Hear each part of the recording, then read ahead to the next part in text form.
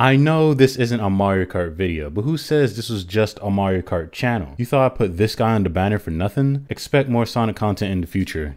So, Sonic's 30th anniversary is coming up this summer, June 23rd to be specific. What's also coming up is the South by Southwest Sonic panel, a panel where some of the known Sonic reps drop and display what they have in store for Sonic in the future. Or is what I would say if the Gaming Expo didn't get cancelled, for fuck sakes. Last year, South by Southwest as a whole was cancelled due to, well, you know, and rightfully so, keep safe everyone. However, Sega made a post saying that they were going to host a digital event of what they have in store for Sonic. Then it never happened. All we got out of the Sonic series in 2020 was a movie, a nice and wholesome movie, posters, and memes. While the movie and posters were nice and the memes just being there, it was still depressing not knowing what Sega had planned for Sonic in the future, especially considering the series' 30th anniversary is coming up soon. The last mainline Sonic game was Sonic Forces back in 2017, and we all know how that game turned out. I am not weak!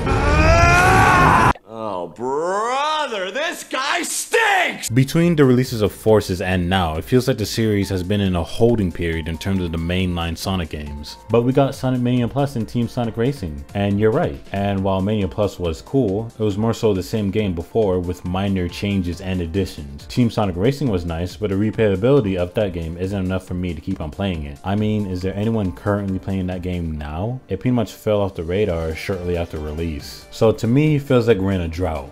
A drought that's been going on since the release of Forces. A drought that God knows how much longer it'll be till we even get a crumb of Sonic game news. At the start of 2020 and pretty much over the last 5 years, Sega has been saying this is the year of Sonic, which is a tagline that I honestly get sick of every time I hear it. It's the year of Sonic. Oh boy, what do you have? A subpar Sonic game with more posters than you know what to do with.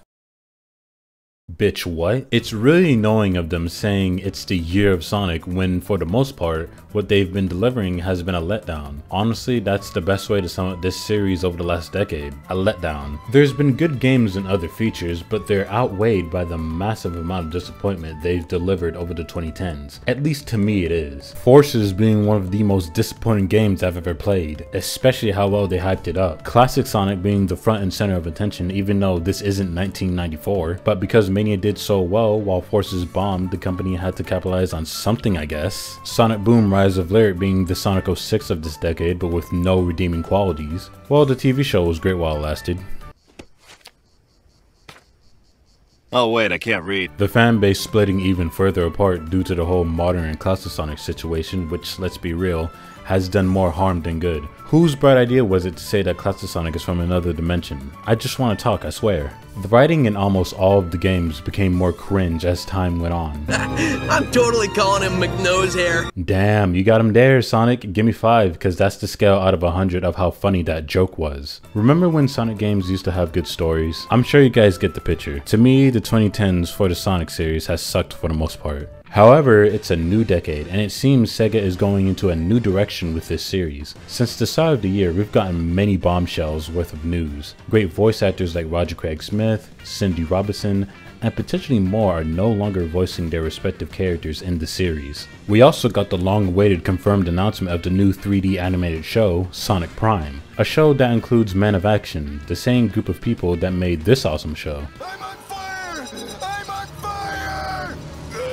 By the way, Heat Blast is Ben's best original aliens. In terms of the games, the closest thing we got so far were the Sonic Rift leaks. Honestly, I pray to God these leaks are just someone trying to mess with people. Sonic Rift is not what this series needs right now, or ever. Fans over the past few months have also been speculating that Sega might be remaking both adventure games. I've never played the adventure games myself, but I'd be much more relieved if Sega goes down this route than delivering another Forces type game, or Sonic Rift. Go away, Sonic Rift! With all that being said, I'm keeping my expectations for the future of Sonic low, very low. For the past few years, Sega has been hyping up and telling their audience that this will be worth witnessing, when at the end, it leaves me in a disappointed state. I've been down this path before and have been burned because of it. How can you say this is the year of Sonic when the last 5 to 10 years have mostly been below average? Hey look, this game is being made by the creators of Sonic Colors and Sonic Generations, and look how well that turned out for them. Don't you worry worry, we're delaying this game to make sure it's polished, only for it to be subpar. We've got a whole new show for you to watch, cool, but until I've watched it myself, I'm keeping my expectations at a low bar. I love this series, and truth be told, it'll take a lot for me to turn my back on it. I'm just tired of these false promises I've been told. No matter what Sega has planned for Sonic in the future,